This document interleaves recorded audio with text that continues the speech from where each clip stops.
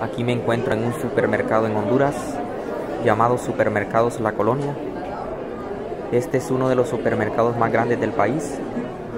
Tiene diferentes sucursales a lo largo y ancho de Honduras. Este es un supermercado que ofrece una gran variedad de productos de consumo diario. Es un supermercado muy surtido de productos nacionales como internacionales.